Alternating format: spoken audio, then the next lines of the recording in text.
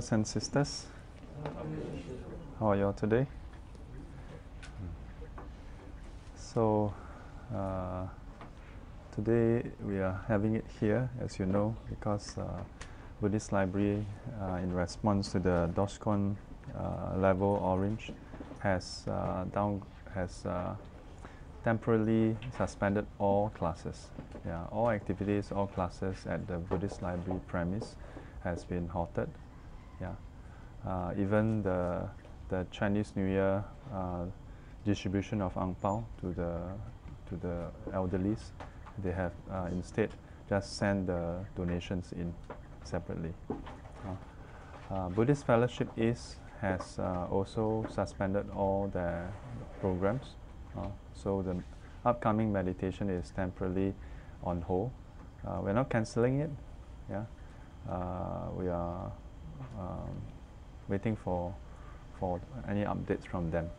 Uh, so then after that, uh, some students actually asked like, okay, so how about SGC? So how uh, we cannot do it at BL? Then uh, different different thoughts. Yeah. Uh, some students uh, felt that you know no no point taking the risk. Uh, safety first. Um, then there are there are those who feel that we should still continue. I thought about it. Um, simply put, uh, as far as I'm concerned, if there's anyone who want to learn Dharma, I will sit down with them. Yeah, even if it's one or two percent. Uh, in the past, I have had um, individuals who who are on chemo, yeah, so they cannot um, attend um, classes with a lot of people, so they request for uh, private sessions. So I've, the smallest number was one person. Yeah. Uh, SGC is for the community, for your, uh, not for not not really for me. ah. uh, I'm I'm I'm just uh, making it happen. Yeah. So. Uh, some thoughts about this and also things at large. Um, I think especially in this uh, this period of time, uh, the, there's a lot of a lot of uncertainty, um, and I think the Dharma, uh, that's where the Dharma comes in. Yeah. Uh, in the past, when uh, the the university Buddhist societies, uh, there's usually a lead time where they shut down all programs prior to exams. So there was once I asked one of the society, one of the Buddhist society, I asked them, like, when exam is coming, you don't stop to sleep, you don't stop sleeping, eating, bathing, right? You still do all these things. Yeah. Uh, will that one two hours make a difference in your exam grades? If it does, you are in a you know bigger problem. yeah. So I decided that uh, as long as there are, there are individuals who who need the anchor, the support, uh, who want to have Dharma in the midst of this, uh, SGC will continue. Yeah. Uh, unless it goes to red. Okay, I think when it goes to red, then there'll be uh, certain directive from the country, from the state, will have to halt. Yeah, in which case then we'll have SGC online. Yeah, uh, we probably do it uh, using the Facebook Live or YouTube Live, and then uh, participants can go online. Yeah, uh, live feed and you can ask your questions in the comments. Yeah. Uh, there's a will, there's a way, huh? Today I also wanted to share this uh, interesting sutta I shared with some of you all yesterday. Um, It comes from the Khuddaka Nikaya, the, the fifth collection uh, called Small Text. Uh, and inside the Khuddaka Nikaya, there are a lot of different um, sets of suttas. One of them is called the Jataka, sometimes known as the Jataka tales. Yeah, these are stories of the Buddha's past life.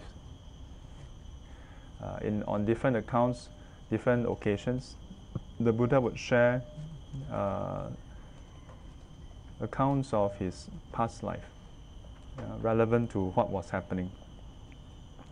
So there was one time the Buddha shared that a long time ago, uh, there was this uh, lion that stayed in the forest, yeah, or in, in the forest, and then he was uh, observing the, you know, he was observing and uh, he observed that there was hare, yeah.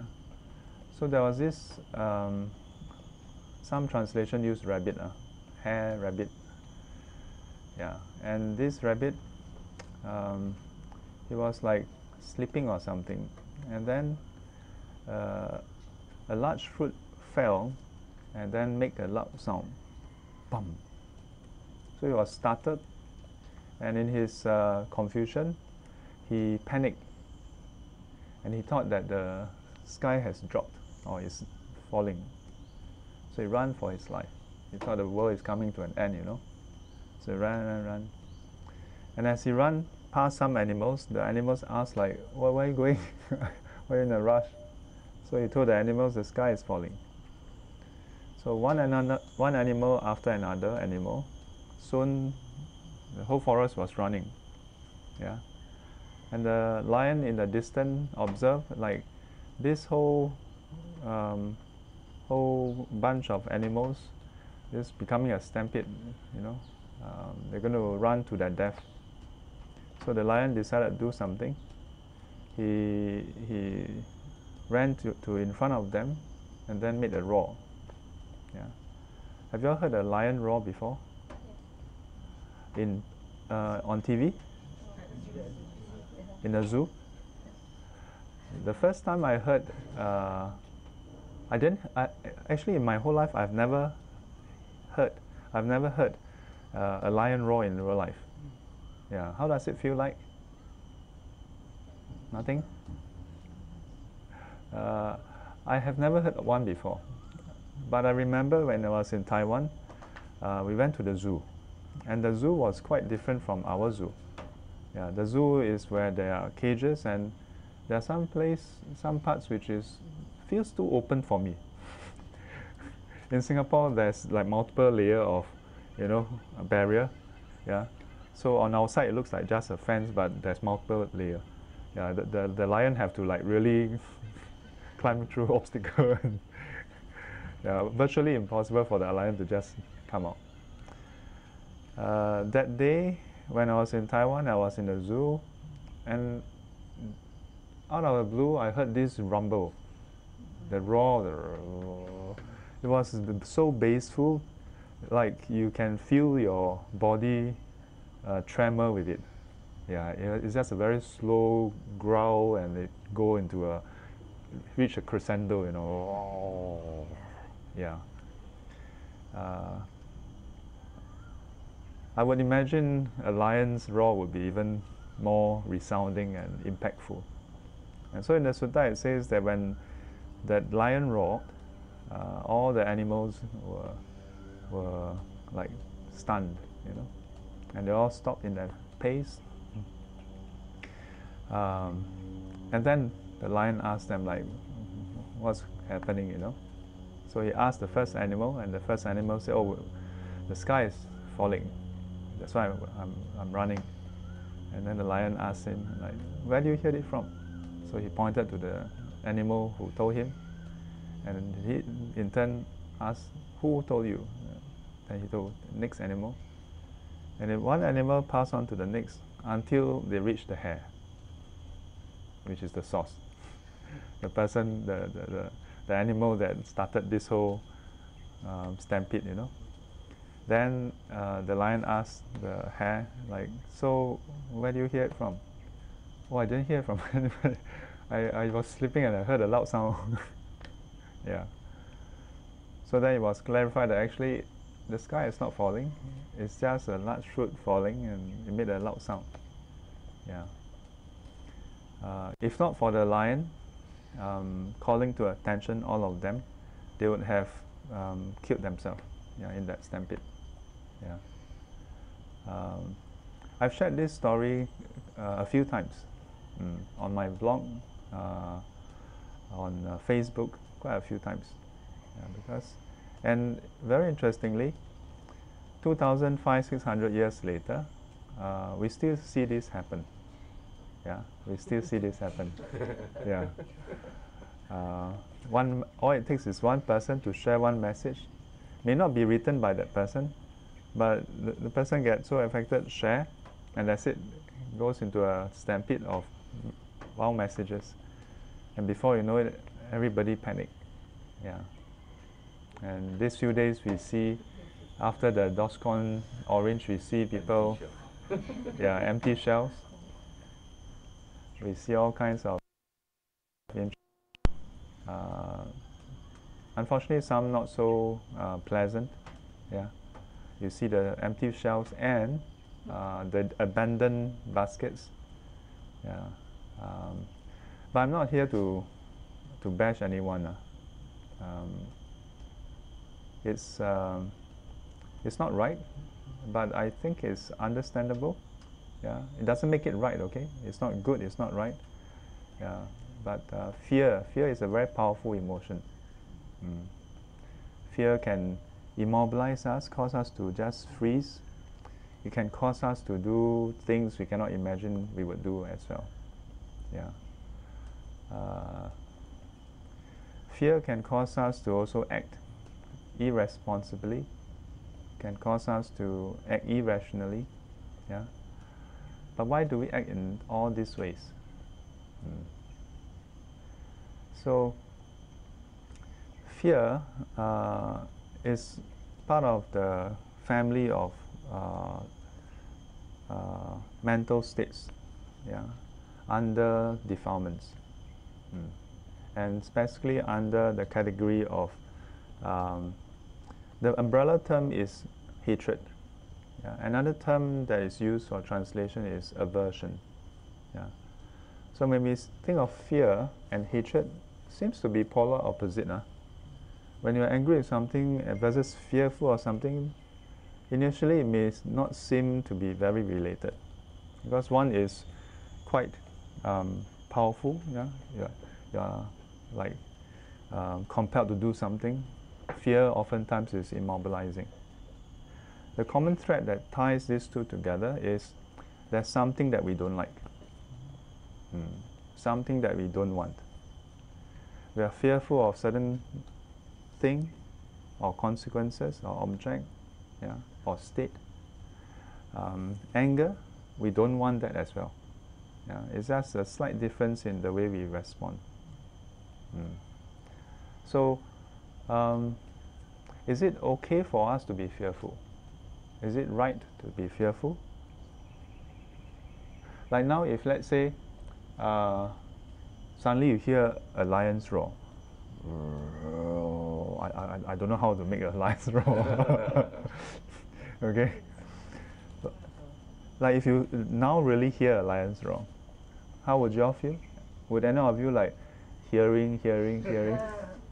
Yeah? Would you be practicing mindfulness, hearing, hearing, hearing?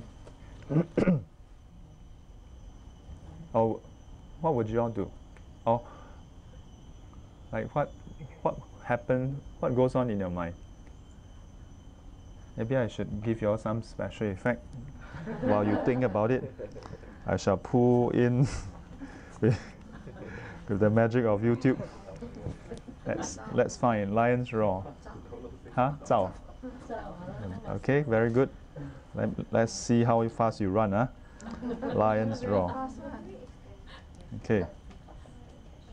Lions Roaring compilation. Let's see. Get ready to run.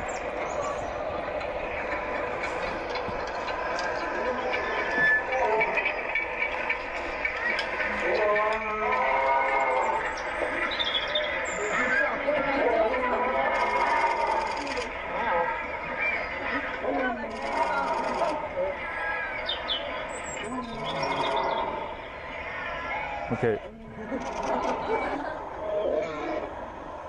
Give you some visual, so maybe it will match.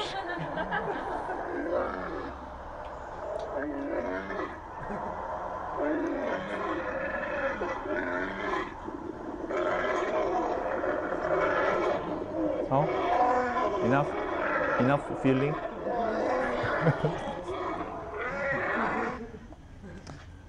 if you are like me, when I think of Lion's Roar, I think of one of the movie uh, cinema company.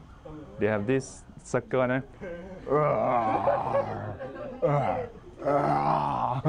you know, we, we tend to think like all lion MG, MGM, right?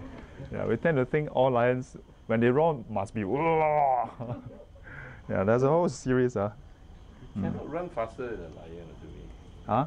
Cannot run faster than a lion. Who cannot run? We cannot run faster. Oh yeah, yeah. Yeah, we cannot run. So all you need to do is look for a tree, climb up the tree, Or as some would say, find out what what's wrong first. as some would say, don't be the slowest. yeah. Uh, yes. So usually for lion, if they're hunting, they will not make noise, right? No. Uh, I don't know. I based on what I have uh, watched on videos, uh, Discovery, Mm. Usually when lions they hunt, they try not to make noise. Yes, they don't. Don't. I mean, is that right or? uh,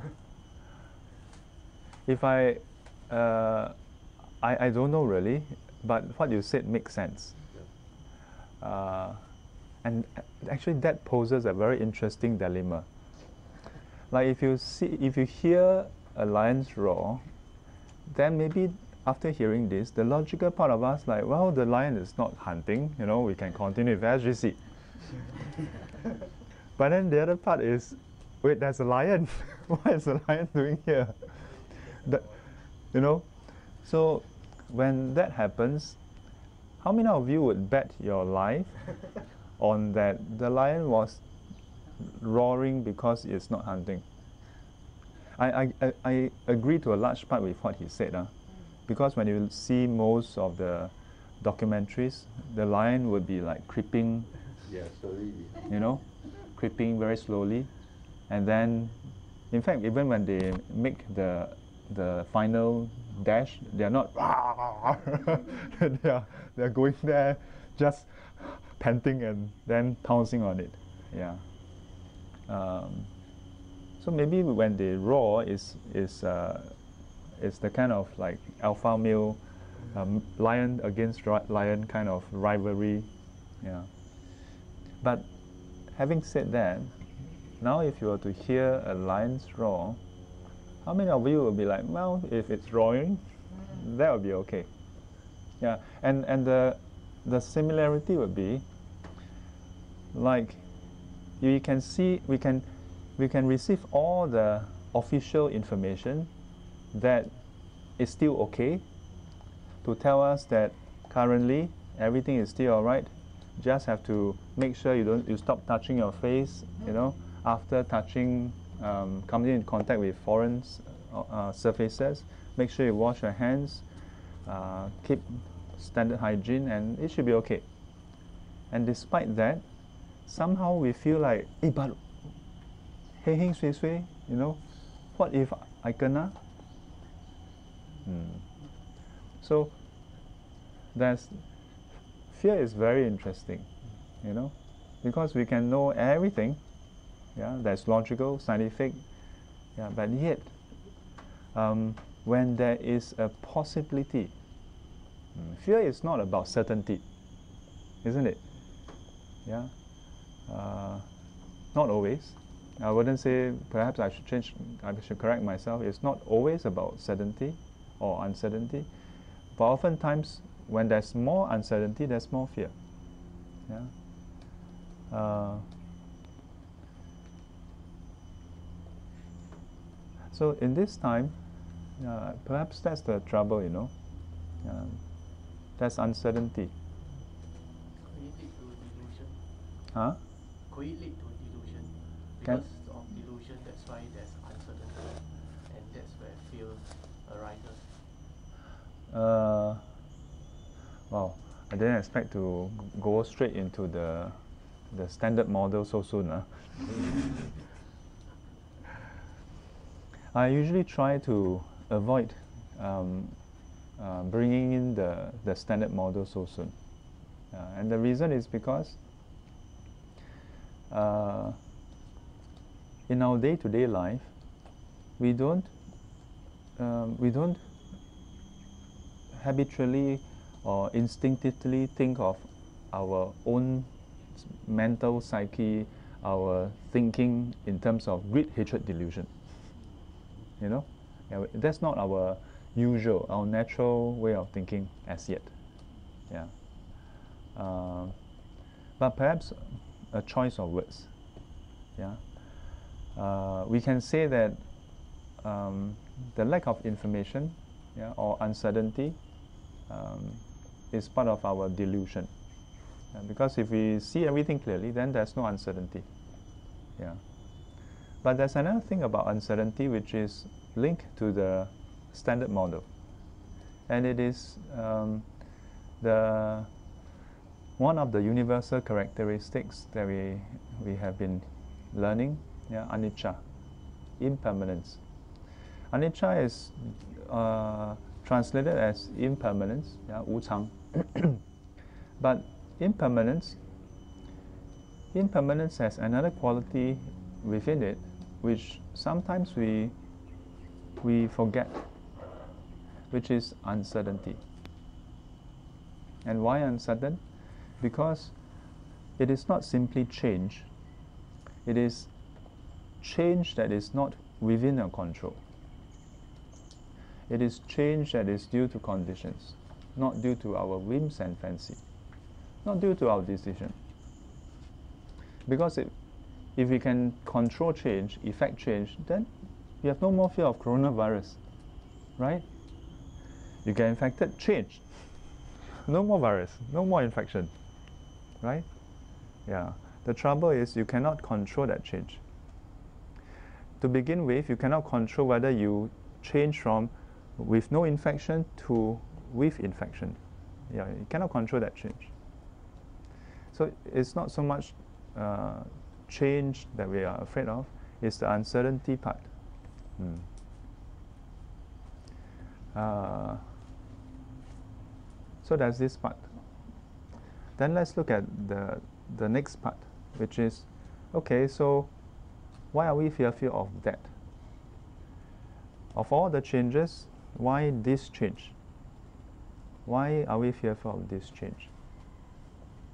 Like, uh, I don't know whether you all buy 4D, but if let's say today, is there 4D today? Yes. Yes, huh? If let's say somehow you all strike 4D today, that's change also, right? Right? You know, they sometimes they joke about, wow, like that also kena uh, the virus, or really can buy 4D.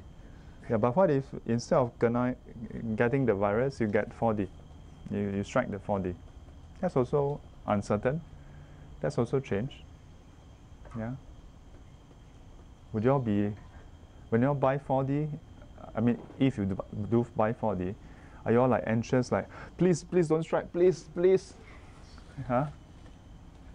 Do you all like purposely choose a number that will not strike? Or what is, or uh, the opposite? Yeah, opposite, right? You try to find some number that give you that feeling, that feeling that will strike. Yeah, like eight, eight, eight, eight. Car, my car, Four six six standard what thing? four six. I have a car, meh? No, your sister car. My sister's car. Beside your the door there. That day we go buy. Oh, Just park four six nine six ah. I won't buy it. Bing Dong's car. Oh, is it? Beside, keep beside. Huh? Kena 4D 啊？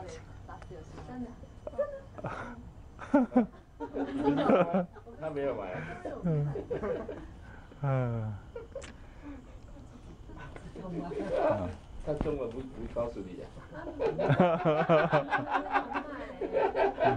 one yeah. When you suddenly get, get some special gift, you know what happened. mm.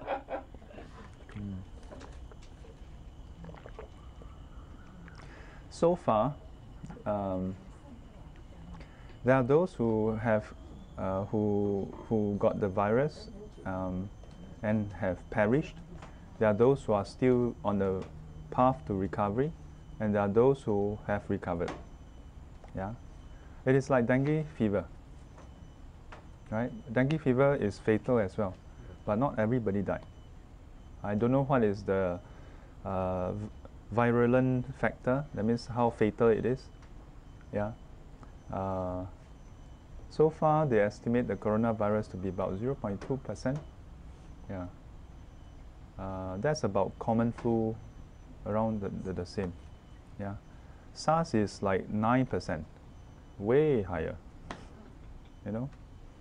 Yeah, but I'm, I'm not an expert in all this. Uh, so, so I'm just quoting what I heard. Yeah, but the infection rate is very high Infection rate for what? for for the for this virus. For this virus, yeah. Um, I, I, I don't want to spend too much time talking about those details because there's already, I think all of you are like swamped with all this Yeah. data already.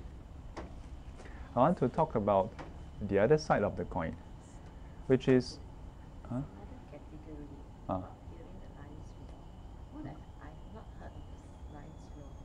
It's either don't care or maybe I'm interested and go and find out what is Ah. uh, Uh, the Lions Roar.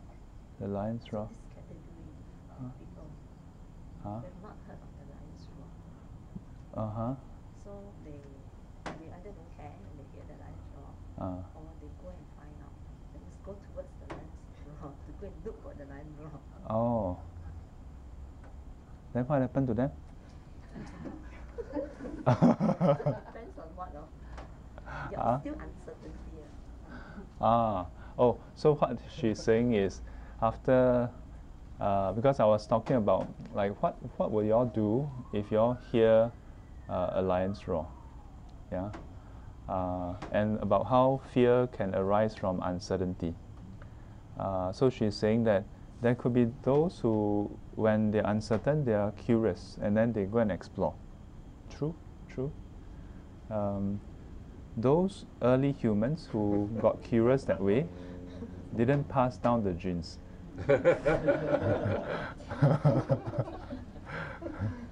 yeah. So uh, the the ones left behind, like us, we are all those who are fearful of the unknown. The ones that run. yeah. Yeah. Our, Run hide. yeah, run and Hide, climb up the climb up the tree. Yeah.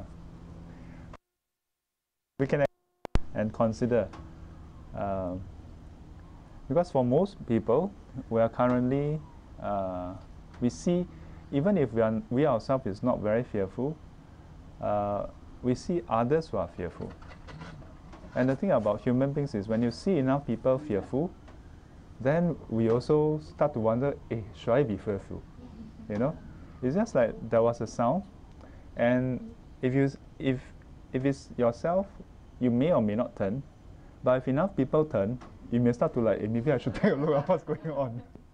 you know, uh, so I want to ask you all the question: What will happen if you get the virus?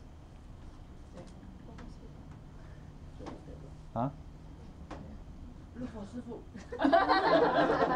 那信吧，穿大悲咒，那被做心经，药师咒，要是这，师傅讲 video call 好。不要来找我。 Call so online. uh, Well, in case if in case if any of you uh, need that kind of spiritual support, um, I I won't uh, I won't run away lah, huh? Yeah, I'm not I'm not someone who to, to run away in that way. Yeah. Uh, but maybe keep a distance. ah. just kidding, just kidding. Yeah. Different room. Different room. With the we know. yeah. yeah, yeah. Can you feel it? yeah. Yes. Uh, for good reasons, uh, mm, for good reasons. When the Buddha saw a sick monk suffering from leprosy, he didn't shun him. Yeah. He went forward asked Anand, Venerable Ananda to bring some water to wash him. Yeah. And then he called the monks over. And he oh. asked the monks why didn't they serve this, take care of this monk. And the monk said, well, because that monk who is sick, when he was well, he didn't serve anybody. He just kakilai everything. Everything he just satu orang. One person do this. He don't, he don't do anything for others. Yeah. Now, I, oftentimes this sutta is cited for the final quote, which the Buddha say, he who served the Buddha served the sick, he who served the sick served the Buddha. Or sometimes they use the word nurse. Yeah, he who nursed the Buddha nursed the sick. He who nursed the sick nursed the Buddha. But I think within this sutta itself, it's very interesting because, um, for one, it speaks about a very human part of the sangha. That the sangha are very human, you know. You don't serve me, what you don't, you, you never help us. Why should we help you? You're very human. Um, but it doesn't make it right. Yeah. The Buddha didn't go into a ruckus and then scold them like crazy, but he, you know, took another approach to advise them. And in that sutta, he also told them something else. He said, You all have all left your family. You know, you are all homeless, without father or mother to take care of you. If you don't take care of yourself, take care of one another, who is going to take care of you? Hmm. Very touching. Yeah, so since then, every time when there's novice retreats, and sometimes uh, the the participants, the, the the novice, they would be a bit, you know, habitual tendency, do, take care of their own things first, and then I will gather them and tell them this sutta. Uh, there was one encounter. We went to uh, what's that place? Cameron Highlands. Yeah, 三宝三宝什么啊？三宝万佛寺。Yeah. Qingmalun. What is the, the monastery name? Uh? Yeah. So in that monastery, when we arrived, there were there were uh, the novices came in first, and then I think there were multiple buses because there's quite a few of us. So the first group came in, then they just snap up the food, and then the second group came in. Then it's like there's not so much, you know, so much not enough it's okay. It's just a phone. Yeah. Is it something urgent? No. Uh, How you know? it's okay. Yeah. So when I saw that, I told them, uh, I gathered them and told them this. Yeah. Uh, you are not monks and nuns. Yeah. Uh, but you can also ask yourself, in a way, we are all in this big ship called samsara, you know. Mm. We are all fearful of our life. Yeah. Uh, but if everybody is, is doing that, and everybody just take care of themselves and, you know, shun each other and maybe even um, to the extent of abandoning each other, then how? Mm. Already we are, uh, some descriptions describe samsara as the ocean, and we are struggling in the ocean.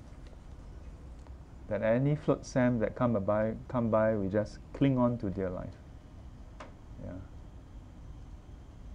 Given that, then how can we bear to, like, if you see someone struggling and you have a large enough piece of wood yeah, that can sustain the two of you, yeah, would you like the person come come like, bang, back, bang, huh? Mm. Uh, but even then, uh, have compassion for those who act that way as well. Mm. Uh, because it means that in them there's even more fear, you know. There's so much fear that they are doing that. Mm. Again, having compassion for them doesn't make their actions right. Okay, I'm not saying that their actions is right. Yeah. Uh, but the public shaming or condemn, condemning them I'm not sure whether that will get them to change, you know. Mm. but back to the, the question. So when we, if we contract the virus, we fall sick, uh, some of the things that will happen is it will affect your your lungs. Yeah, I think it will affect your lungs, right? Yeah. Um, and then depending on how well your your body's resistance is, then uh, you may start to develop symptom or not. Mm. But uh, if it if it worsens, that means your bodily system is fighting a losing war, then you start to have breathing difficulties. Mm. Uh, can you imagine having dif breathing difficulties? If you think hard enough, if you worry hard enough, you really have breathing difficulties, you know. Last September, when we went to Tibet, oh, there were some parts of the trip really difficult. Mm. One of the nights we were at one of the place where it's about 4,000 over meters, uh, 4,000 plus plus plus. Uh, and it was at night, turning in already. So I was really jialat because the, the day, the night before, I vomited. And then, um, oh, actually there were two nights. The first night I vomited and I was so out of breath. Even after they passed me the oxygen, like, uh, didn't, it, it kind of made me feel better. Kind of like, okay, I'm having oxygen, I shouldn't be, you know. But it was very difficult. Yeah. And especially you're trying to acclimatize and you're trying to rest, and then, and yet, because of the thin air, yeah, your body is not, not, not everything is not functioning as optimally as possible. Yeah. And so that so the other day I was thinking about that and I was like, well, granted it's not exactly the same, yeah, uh, but it must be uh, it must be terrifying, yeah, because you're like normal normal air and then you're breathing, but just feeling out breath. Mm. I had dengue fever before. Not not not recently. Way back, uh, 1998, I think. Yeah, 1998, when I just started around. Eh, no, sorry, 99. Yeah, huh? No, that's that's uh, chicken pox. Huh? Uh, no. Dengue was much later. Dengue was when I was working already. 1999, I think. About 20, 20 years ago. Yeah. So got admitted. Yeah. Uh, eh, did I get admitted? Dengue fever? I got admitted, right? Yeah. Uh, chicken pox was also very bad, but dengue fever is worse uh, dengue fever, the once you get checked in CDC, the doctor tell you that you have to be bedded. You cannot get off. Yeah, four times a day they come and draw blood for a sample test. So the first day was pretty relaxed. You know, own room, just take it easy. But back then, no no social media. yeah. So that night was crazy because I think there was probably mild fever. Uh, so I had crazy dreams. Dream a lot of people come in and out of the room. Yeah. There'll be people who tell me that mm, the place is dirty. mm. Well, I don't know. Yeah. But the next morning when I woke up, first thing in the morning, you know, you go to the toilet, wash up, pee. So my bed was here the toilet door was maybe somewhere around uh, you know, just just a few steps away. I walked halfway, I squat down. I was out of breath. Yeah, because the pellet count once it drops below a certain amount, you, your, your lungs are still working, everything is still working, but the it cannot. Uh, there's just not enough pellet, you know, to to to transfer the oxygen. Yeah. So just taking a few steps, I felt like I went for a run. In my mind was like, ah, okay, that's why they told me I have to wait for the nurse to come. but me being me, I was like, ah, let me just, if I have to crawl, I crawl. yeah. Then because my mom was pumping me with beetroot juice, so when I when I pee, it was all red. I was like, I'm gonna die. I'm gonna die. yeah. And then later uh, I, I learned that oh the beetroot juice. Yeah. Uh, so in a way, I can understand the the anxiety and fear that, you know, if you do fall sick, just that process. I'm not talking about death yet. Uh, just having that sickness. If you kena coronavirus, I, I don't think the symptom is 100% the same. Yeah, it's definitely quite different. Uh, you have pneumonia, bronchitis, all, all the secondary things coming up. Mm. Yeah. Would you all be okay having that?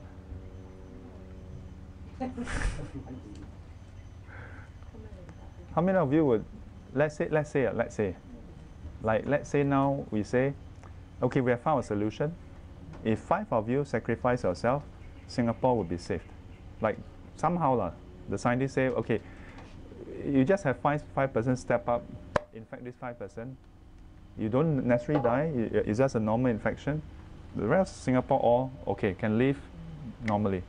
Yeah, no worries about infection. The virus made a pact with us, or just impact in infect five of you, five of us. How many of you would volunteer and say, okay, come, sign me up? no, no one. okay, I guess then we have to see who kena.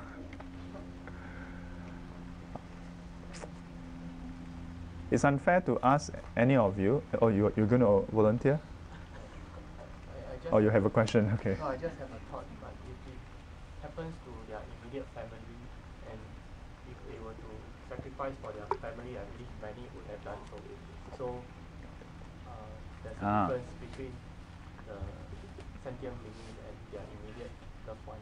Mm, that's an interesting point.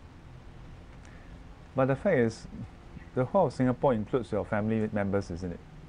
If you sacrifice yourself, your family will be safe also. Uh, so now, with that new information, how many of you would step up and say, okay, infect me? Not going to do it for your son or daughter? no? No, no. This is not a fair question. Yeah. And in fact, the question is not about whether you are willing to. This is not a question about how great your bodhicitta is. Uh, no. Um, I'm a I'm a very uh, low achieving monk. So I don't have that kind of grandeur idea about, wow, we must sacrifice ourselves to do this, to do that. Yeah, in fact, if you ask the volunteers, I always tell them, why you sacrifice yourself in this way? I don't believe in doing sacrifices. Yeah. Uh, I believe in if you if you are really ready to do it, then just do it. Yeah. It's more about okay, but what if you do get it? Mm. Because the the proposition I, I gave just now seems like a difficult choice, seems like an unfair choice. But what if you do get it? If you get it, you get it already, no. At least this you got to choose. The proposition I gave, at least you have a choice. You can choose not to raise your hand or raise your hand. Mm. But what if you do get it? I, I, I think I had this experience Huh? last week. Last week. Yeah, after Ah. the roadshow, I, I, I, I shared with Sifu, after the Ah. roadshow, then I was, uh, I, I, I put it in the chat group, Mm. so my colleague said that uh, I just come into contact with this, uh, this uh, tourist who come from Hubei. And then,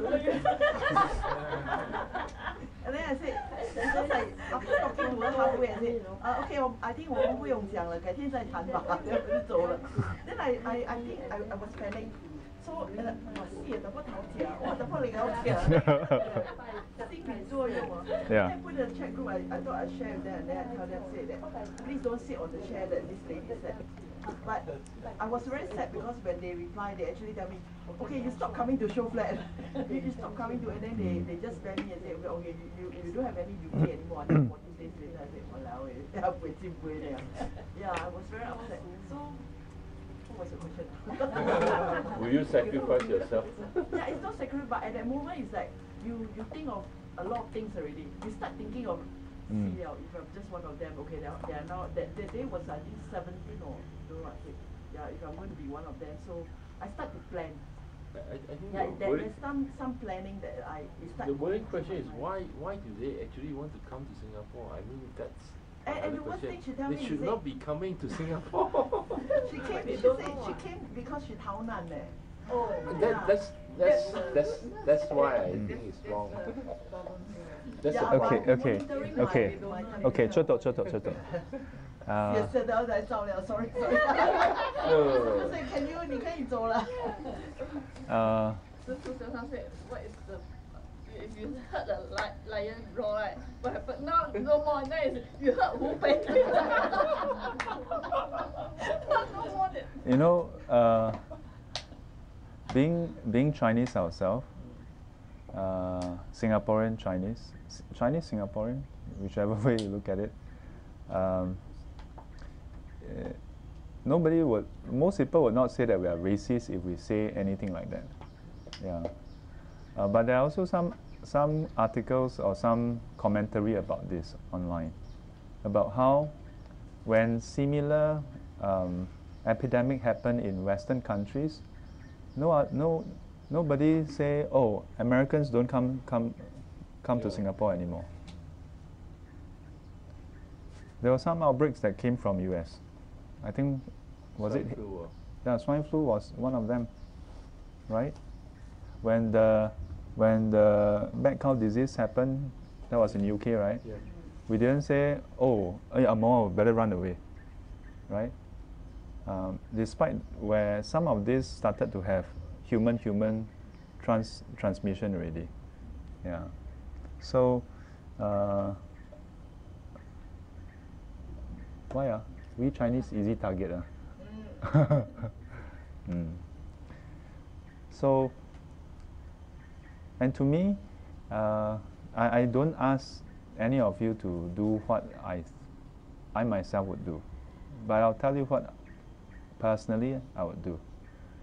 Um, I think when certain organizations they they limit um, or they, they put you on two weeks um, suspension or well maybe isolation um, it is a form of um, it's a very prudent thing to do from a certain point of view yeah uh, just like how the various Buddhist organizations decided to stop the classes first yeah so then the question comes back to then why are we still having SGC? Mm, And it's the same thing as I've said earlier. Um, if if all of you decided okay things are getting out of hand and we don't need IGC for now or we can do with the online then okay let's do online. Mm. For me now if let's say there's a student from China from Hubei Wuhan for that matter and who arrive at my doorstep I won't I won't just say oh oh oh 你你要来做什么 yeah I think it would be very sad ah. Yeah, that's it. Yeah, I think it'd be very sad. I'm not. I- I'm not saying that I'm very great or brave or what. I'm not a very brave person. uh, but I can't bring myself to do that. Yeah, I can't bring myself to do that. Uh, but I also realized back then in uh, the Fukushima, the the the tsunami, and then the nuclear power plant went went uh, nuclear. I was so compelled that night, you know. I was so compelled, almost tearing, and I was thinking, I, I, I cannot just sit here and post on Facebook, oh, may all beings be free from fear, free from harm, free from danger, may they be well, happy, let's send them prayers, and, you know, I, I, fe- I just felt that day I just felt this is insufficient for me. I, I need to do something. So instead of posting the usual, I posted on Facebook and asked, I'd like to go and go to Fukushima to do something. Is there a way, uh, like what, can, what, what is the thing to do? And a couple of students immediately responded, Sifu, please don't do that. and, and their concern is not for my well-being, more that they tell me very straight in the face, and I really appreciate it. They told me, Sifu, you're not trained. If you go there, you'll not be helped, you'll be a liability. You'll be a liability. Yeah.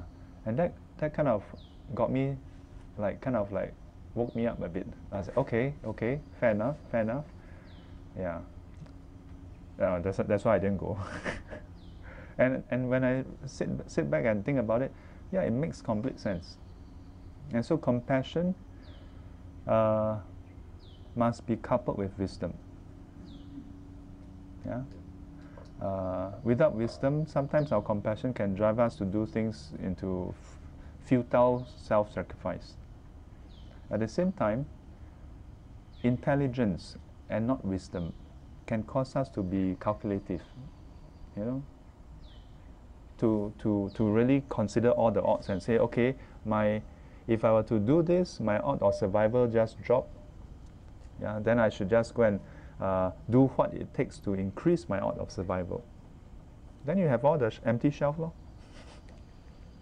Yeah, th then you have all the empty shelf because the when we only use pure intelligence that is selfish, intelligence itself is not selfish, uh, but intelligence plus concern only for ourselves, yeah, then sometimes can drive us to do things that actually in the long term is not very wise. Mm. Yeah. Uh, but I also told Xiao Pusa, uh, when I, I discussed with Xiao Pusa first before I announced on the Telegram chat, and I told them, um, my thoughts are I would still want to let SGC continue in some form, but I cannot ask you all to do what I'm doing. So it will be optional. Uh, but do not look at look around and say, oh, the rest of Xiaopusa, oh, they, they run away. No, some of them are not feeling well. And one of them, Valerie, she's she's uh, down with a bit of flu, so she's like, okay, you know, she don't want to uh, become part of the problem. Yeah. Yes. Yeah. Okay. Uh, okay. Wasn't implying anything. yes. The other thing is that um, while we do not mind, we also think that if we are become the host, we may then complicate and create another class. So some people may say, you know, I know it's like Mm. teaching, but at the end of the day, you need to think of For sure. For sure. Yeah. Yes. For the sure. Rest of it. Because once you go to work and then you start to spread, it can be creating. For sure. So that's why the government is actually trying to block so as to contain for now. Yes. Uh, I, I'm all for doing what we can uh, to not become uh, a bigger problem. Yeah. Uh, the question I asked in the chat, in the Xiaopusa chat is, um, the government, the, con- the, the MOE has not announced stopping the classes, right? Each classroom is about 30 to 40 students in a confined space for the whole day, almost the whole day. Lecture groups. ah. Ah. So now instead of a big lecture group, there are two lecture venue. Uh, no, I'm talking about secondary school. Schools, uh, The secondary school they have like lecture also, so they they sit Oh. alternate seats. Then no no aircon, just fan, Ah. Open window. So how big is the classroom? Uh, roughly uh, the max that we can go up to is one and a half class size. ah. Ah, Okay. So about 60, 70 like oh, okay. Like even NUS itself now they say that the maximum class size you can have is 50 people in one class. So Ah. if you have more than 50 people then you have to split out into groups Tutorial groups, ah. mm, lecture groups ah. Ah, ah even lecture. ah? Yeah. Yeah. Wow. Okay. Yeah. So then, so that was my one of my consideration. Yeah. Uh, I, I don't know enough about a lot of things, so I use this as a matrix and say, okay, if that is okay, then SGC should fall within that, you know, because it's not like massive. Uh, and then I was also thinking about another thing, which is supermarket. Yeah. Yeah. I'm, I'm pretty sure there's more people in the supermarket. Oh, yeah. You know. Now probably less. Uh. Okay, no more maybe- things to buy. more things to buy. Yeah. Mm. many things to buy. already. Yeah.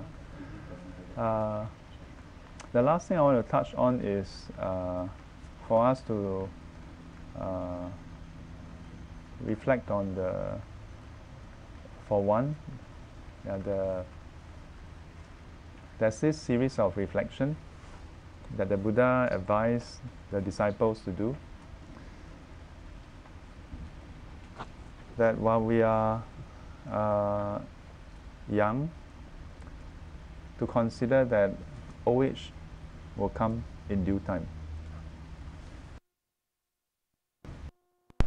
That while we are healthy, sickness can come in due time. And while we are alive, that death can come in due time. Mm. Uh, something to highlight about this is not paranoia. Whether we reflect on this or not, this is what is happening every day. We are on this journey where is at this point in time, time goes in one direction. Yeah.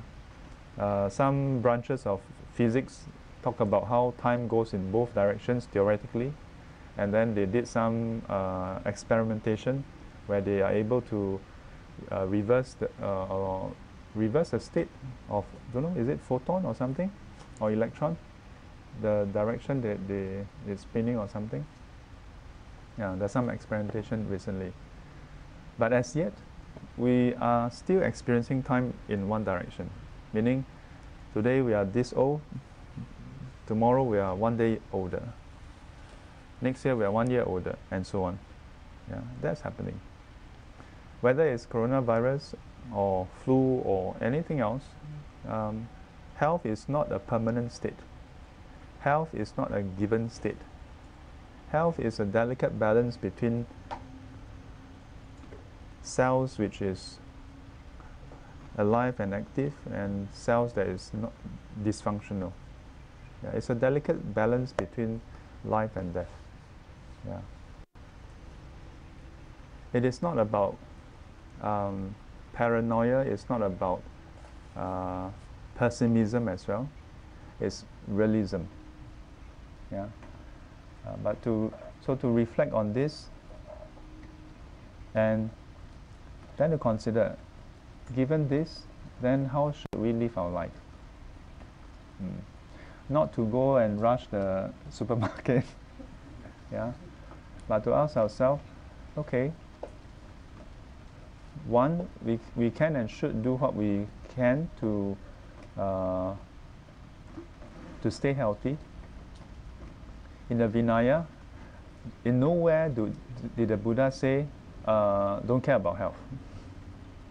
Yeah, uh, if a person is not feeling well, must see the doctor. Yeah, if you don't, it is a wrongdoing. If you see the doctor and given prescription, medication and you don't follow, it's a wrongdoing. Yeah.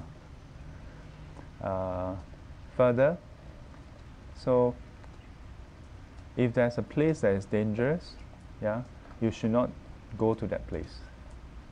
Mm. So like if, like in the past, uh, some forests have wild animals, then they are advised to avoid those places.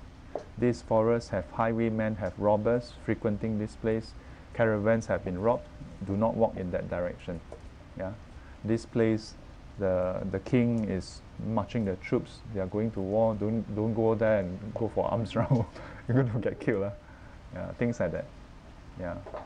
So when times come, when time comes, and uh, the situation it has worsened, then we'll uh, make adjustments. Uh, and the last part of the reflection. Uh, compassion. Yeah, whether in Wuhan, towards the those who are suffering from the uh, virus, or just the whole population in Wuhan, lockdown, quarantined. Yeah. I mean, if you look at the development, it, it looks almost like the the first season of Walking Dead, you know. Yeah. Can you imagine being in that city? Yeah. Uh, so it's heartening to see um, different snippets of people rising up to the occasion. Yeah. Uh, there are doctors and medical staff from other provinces who, you know, join the volunteer call to go in. Yeah. The troops are sent in to assist. Um, and then in in Singapore, I think I saw this this uh, uh, this this news about um, this guy with the wife distributing uh, free masks. Yeah. Uh, and even in Singapore, our medical professionals, we can say that well, that is their job. Right? They can always say, "I, I quit, lah." You know. Yeah. Yeah, they can. They can, they can still quit, but they choose not to quit. Yeah. So reflect on compassion towards them, gratitude towards them. Yeah. And those, not just in China, not just in Wuhan. Wuhan is just one area. Multiple cities, they have started lockdown as well. Yeah. Uh, and also the rest of the world. Oh.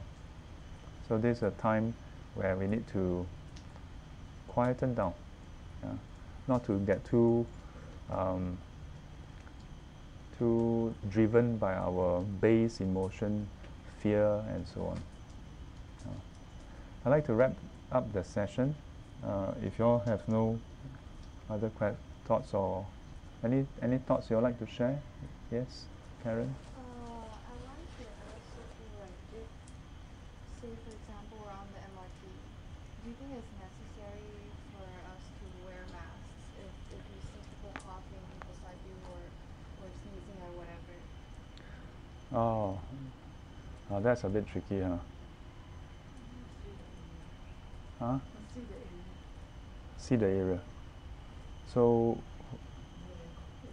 how how would that affect? Let's say Chinatown, Mm. ah, then it's like a lot they go Harbourfront, they go City, Mm. But to be honest, it's starting to spread among locals. Yeah. So, you know, Mm. I, I, I know, because I just feel like if, if you're diet or, or if you're going to suffer for it, there must be, it must be a cause and effect sort of relationship. So like, even if I wear 2,000 masks, it's not going to do anything. Like if I'm going to die, I'm still going to die watch. Hmm. I'm glad you bring this up because uh, there are some who who attribute this simply to karma. Yeah.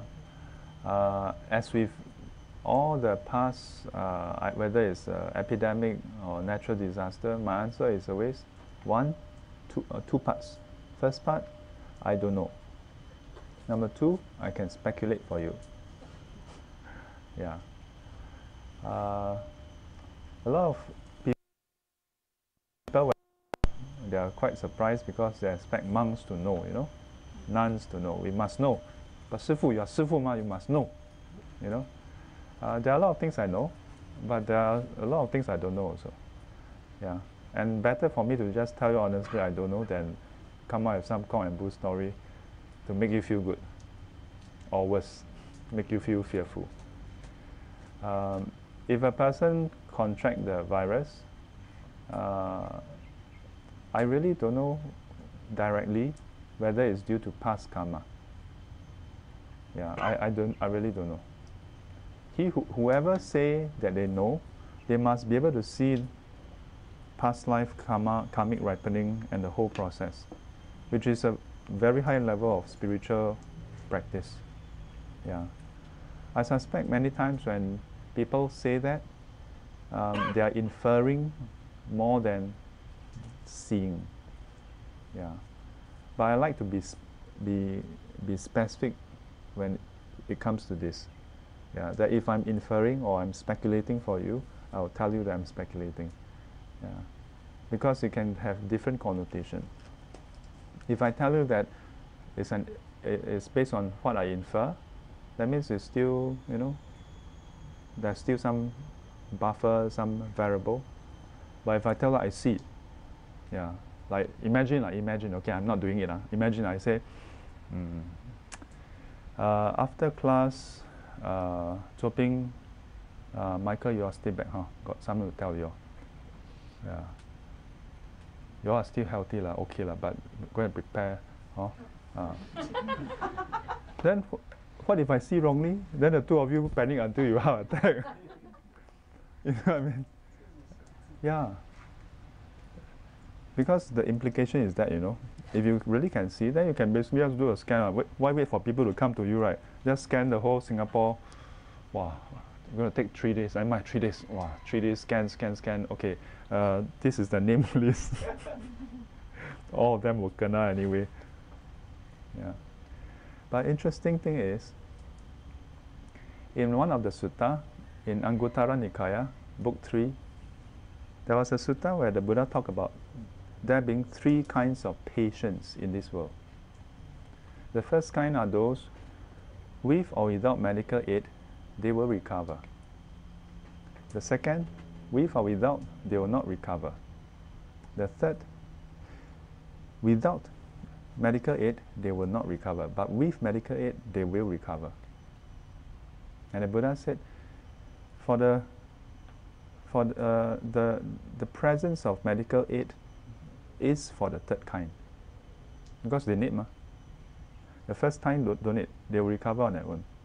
But even for the third, for the second time, that will will die anyway. The Buddha said, care should be given to them. So even for those, today would be considered terminally ill, confirmed die one. The Buddha don't say, don't waste resource, uh, just dump one side. Yeah, to have compassion for them, to still care for them. Mm. In which case, then all three we should care. Ma. Is there a reason why we should not care for any of them?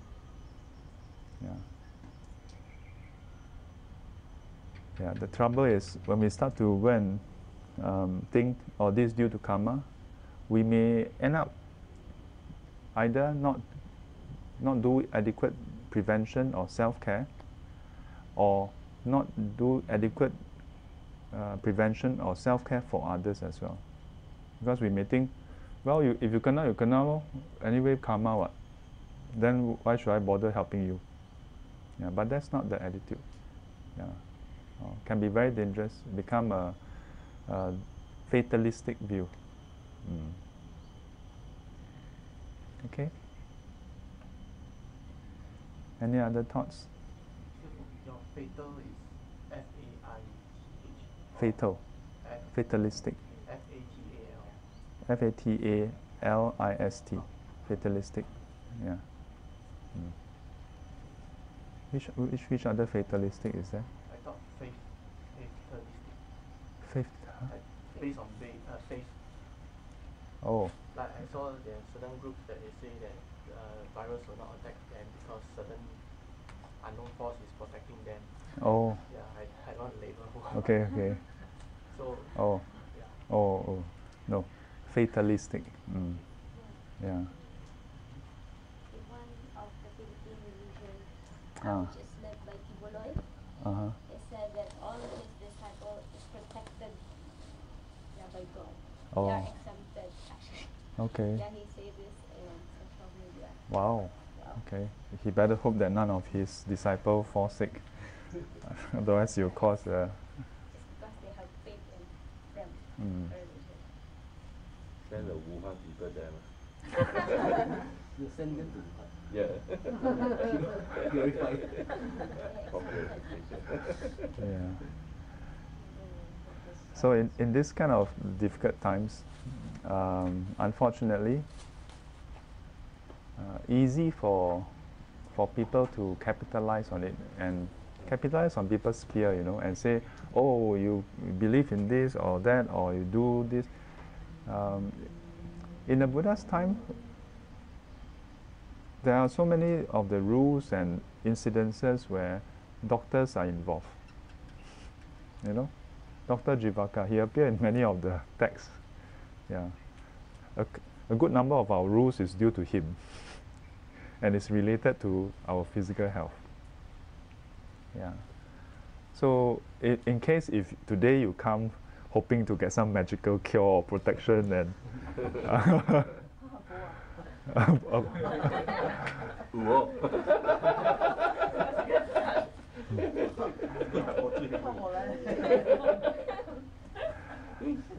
your refuge, the refuge in the Buddha Dharma Sangha is your protection. Your compassion is your protection. Yeah. So, I, I read one article, don't know from where I can't remember. Just Ah. a cancer patient. Mm. Uh, he doctor said that she left three months. So his he said three months. Uh, so he spent all his money Oh. to travel. Ah. Then come back, uh, followed by a checkup. Uh, the cancer gone. Ah. so this all depend on on your own self. Mm. He thought that he would die, so he don't want to keep the money. So he spent on travel on, Ah. But come back, okay, Okay already. Maybe what he needed was a travel don't know. for don't know. I read this article. yeah. I think I read something like that before. Yeah. Mm. So do your do your washing, yeah. Uh, have compassion for one another, yeah, and patience also, because there will be more and more people who is driven by fear, and then act irrationally, yeah. Have patience for them, have kindness for them as well, yeah. Not just for those who are having the virus, but also those uh, who are driven by a different kind of virus, mental virus, fear. Yeah. Sorry, I hit it.